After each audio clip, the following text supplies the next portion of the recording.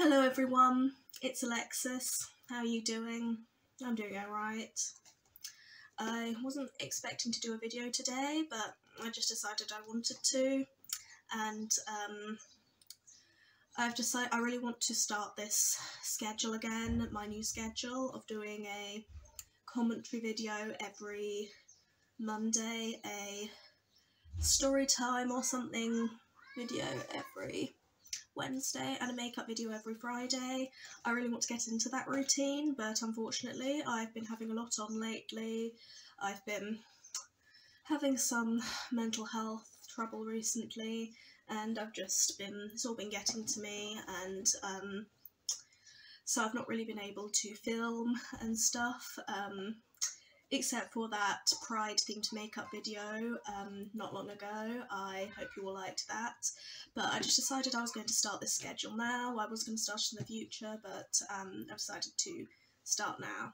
Okay, so firstly, um, I don't know if you noticed, but I often put my PayPal in the description bar, and I also put my Ko-fi Buy Me a Coffee account in the description bar as well as my Bandcamp link to my music, and I'd very much appreciate it if um, if you want to support my channel, if you want to help me buy a microphone so I can make better quality ASMR videos, or if you want to just sort of help me live, help me do stuff, help me do this, help me do that, um, I'd really appreciate it if you would donate to my PayPal or to my Buy Me a Coffee um, link down below and check out my music, my single Iridescent and its accompany accompanying promo single Diva. Um, I used to play the Iridescent as the intro for this, but a load of stuff went down and I my old phone broke, so I had to get a new phone, which is why I couldn't do videos for a while,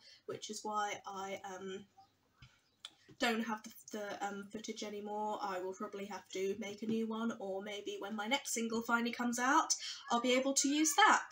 So, um, anyway, today's video is on a sort of like trending topic right now. It is about the whole creep show art situation.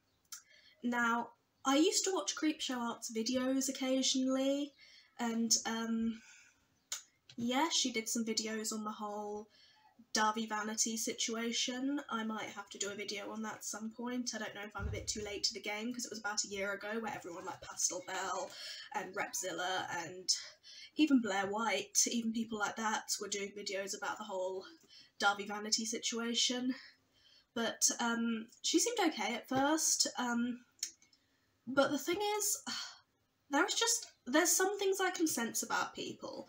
I sometimes can just of like sense when someone's a bit dodgy or a bit problematic or just sort of seems a bit I just feel uncomfortable about them and I always kind of got that about creepshow art.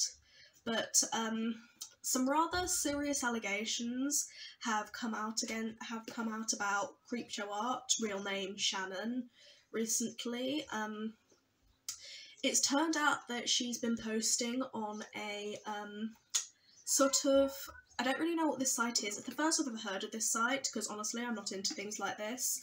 This site called lolcow.com or lolcow something and she was basically like it's anonymous but like there's some evidence that it's her but like this is all alleged. Um, I'm not saying that sort of I'm not saying in this video that any of this is true, but like I'm just saying what I've heard and my opinion on it. On this website, apparently, like people post really kind of like mean things about different people and things like that. And apparently, Creepshow Art likes to um, portray herself as this really kind of like mental health advocate, LGBT advocate, and all that.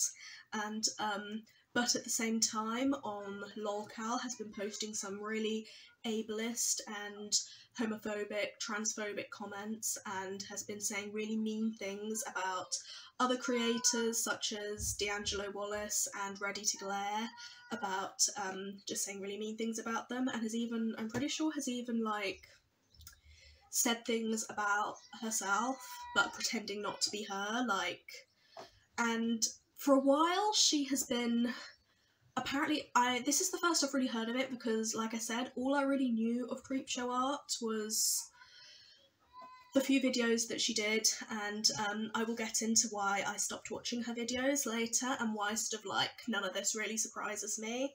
But um, yes, she um, what was I saying? Oh yes, she claimed that she had some this stalker called that she referred to as Amy, and she claimed that Amy was doing this and was pretending to be her on this lolcow.com website. And um, obviously, this could all be true. I don't know.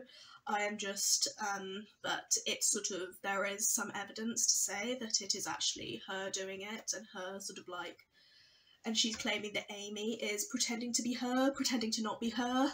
Um, and she said some really, whoever it was said some really awful things on that website. They used terms such as a term that I'm not going to say, like fake opposite to girl, which is a term used against transgender men.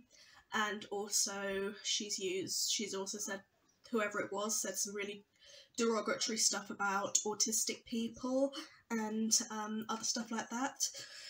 Excuse me like and also like I said, some stuff about D'Angelo Wallace and people like that, and um, yeah.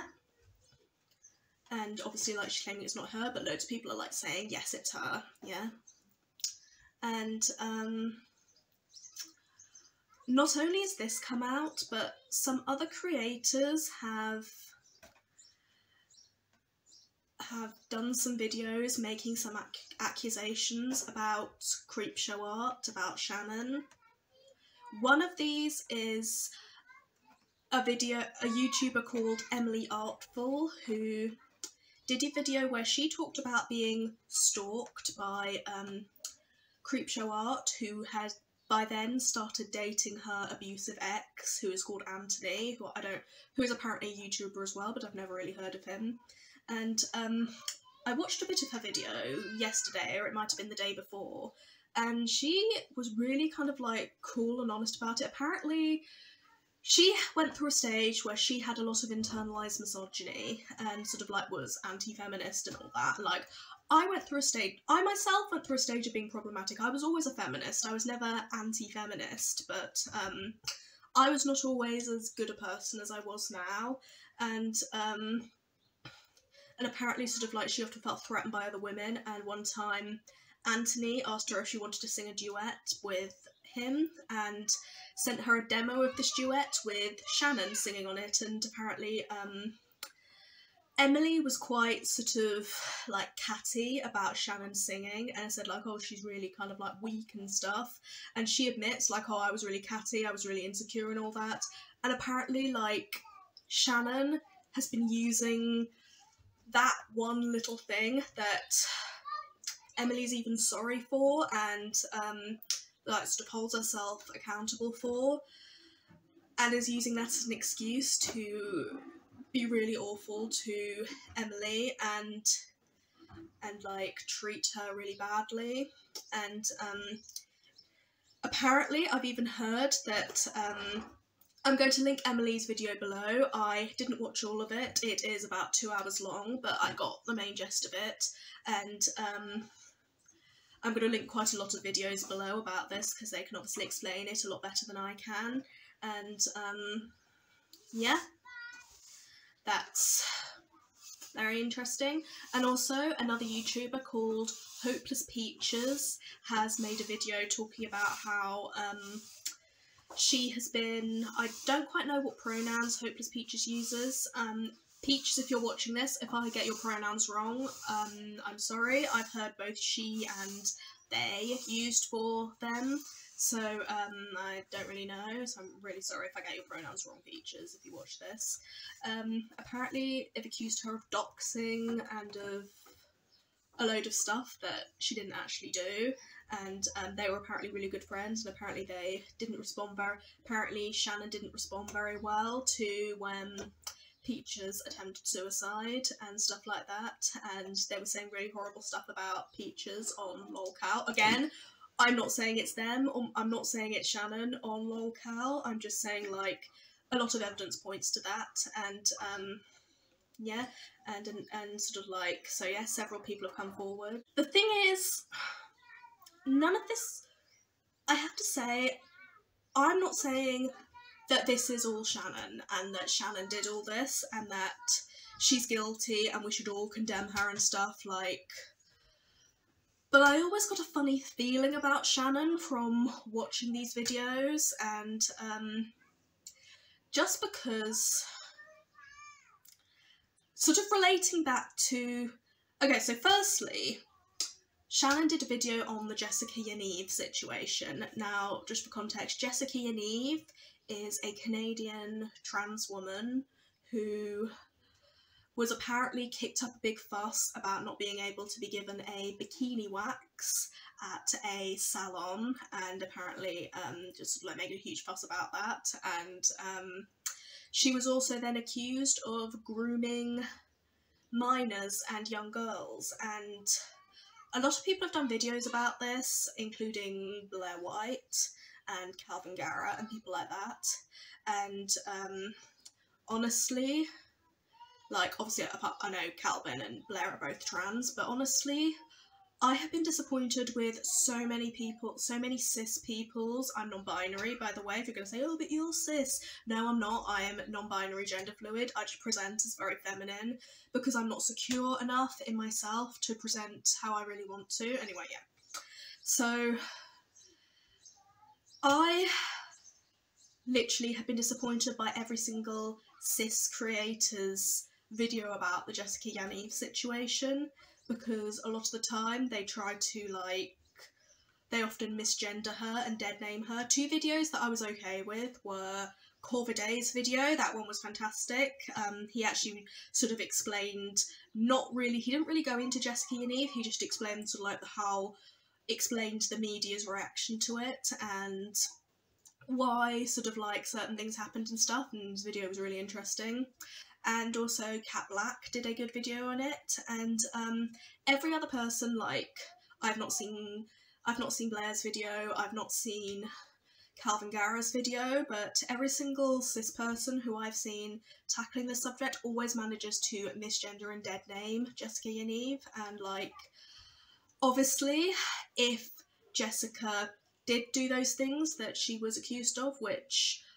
from the evidence I've seen, it does look like she did, then she is an absolutely terrible person and but that is still no excuse to misgender or dead name her because that affects the whole trans community. And um, one of these cis people that did a video about Jessica Yaniv was Creepshow Art, and she had a very kind of like common response to the situation. She referred to Jessica Yaniv as they, even though she uses she her pronoun. She, I'm pretty sure, disclosed her dead name, and she questioned whether or not she really was trans, which I really don't believe that cis people should be doing. And um, she also sort of like said that Jessica Yaniv was giving the LGBT community a bad name. But the thing is, Shannon is cis, is bisexual apparently, but cis. And um, I really feel like cis LGBT people shouldn't be saying that and should be sort of like leaving that to trans people, specifically trans women, to say that um, Jessica Yaniv is ruining sort of like the trans community and the world's perception of the trans community and promoting the stereotype of them being predatory and stuff. And um, because neither Kat Blaque nor Korviday actually sort of like said they neither of them defended Jessica Yaniv. Both of them just sort of like said like even Kat Blaque said that um she can't deny that sort of like if Jessica Yaniv did do those things, which she believes she did, then she is an absolutely awful person. And um again, Korviday didn't, but the thing is, like then the comments in Korviday's video were accusing him of defending Jessica Yaniv, which at no point did he do it. It was just because he didn't misgender and dead name her, because apparently when a trans person is an awful person, if you're not transphobic towards them, then you're then you're um defending their actions and defending them, which is not true. Like, like I said, misgendering and dead naming them affects the whole community. It affects the way we see um, the way the world sees trans people, and just like I just felt sort of like Shannon's reaction to it was not that good. But at the same time, and at the same time, Shannon, this is kind of like a me thing and a personal thing. Shannon identifies as not a feminist. Now, I can sort of understand why, because there are some really problematic, awful feminists out there, like TERFs, racist white feminists, and um, SWERFs, and stuff like that, but there are also some really good feminists and who are inclusive. There are some feminists who are trans women, who are sex workers, who are women of colour, and people like that. And um, I felt like she was just ignoring that and just sort of like, and just being, and I just feel like, to me, I have had really bad experience with women with internalized misogyny. I've even, just so many of them, so many women with internalized misogyny at times are almost as bad as men. Like, as almost as bad as sexist men. Not all, not saying all men, just yes, don't accuse me of saying all men. Um, just sort of like, um, I just feel like there are a lot of women who with internalized misogyny who like hate on feminists and suck up to the patriarchy and stuff, and um, sort of like almost seem to sort of like want to be oppressed or something. And I'm not saying that's what Creepshow Art is, but just the fact that she identifies as not being a feminist and is like has a kind of fuck feminism attitude, but just because of a few bad apples in feminism, then I just get sort of like internalized misogyny red flags because I have met some really toxic people, toxic women with internalized misogyny. And um, also just it was just a weird kind of intuition that I got of um, Creepshow art. Like, um, just this doesn't really surprise me. Again, I'm not saying that this is all true and sort of like it could not be true, it could still not be true, but I just feel like a lot it doesn't really look good for creep show art, and a lot of the evidence points to it being true, unfortunately. Also, um, she claims that she isn't a feminist because she sees she basically sees TERFs and sees them all they're all feminists as TERFs and like she wants to be there for trans women and all that. But one interesting thing is in Emily's video, which again I'm going to link down below, Emily says that when who was supposedly Shannon slash creep show Art started stalking her and started sending her really nasty messages and really nasty emails and all that, then the way that oh no, well she was talking about the um sort of relating to that about the lolcow post. Apparently, she apparently there was some trans misogynistic stuff on there, and Emily said that she knew something like she knew that that was Shannon because that included trans misogynistic stuff. Like, apparently, even though I'm pretty sure Emily Artful is cis, I don't know that, but um, apparently, Creepshow Art, apparently, sort of like there had been some sort of like transmisogynistic stuff said to her, like misdirected transmisogynistic stuff. Like she would say, Are you pre op? Have you still got part bits down there? And called her a T slur, word I'm not going to say, which refers to trans women and stuff like that. And like, so she's saying she's not a feminist because she cares too much about trans women, but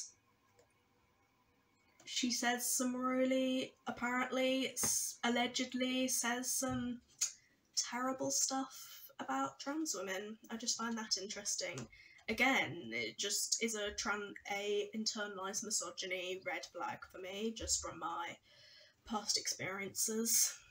So again, I'm going to link all, I'm going to link sources down below of where I got this, this information. Sorry, this is a really rambly video, like my other videos. I didn't script it or anything, I just decided to do this video today, and I just, um, wanted to do this, just doing my sort of like opinions on the whole creepshow art situation. I've been seeing a lot of YouTubers doing videos about it, and um, yeah, so if you like this video, please drop a like down below, drop a comment. Um, it really helps boost this video in the in the algorithm and um, share with all your friends and subscribe and like I said at the beginning my PayPal and my Ko-fi account will be linked down below and I would really appreciate it if you would donate some money to them in order to just support me living and stuff. Um, Alright, so hopefully hopefully I will be making another video on Wednesday. I will be making a story time video and I look for I hope you look forward to that. See you then.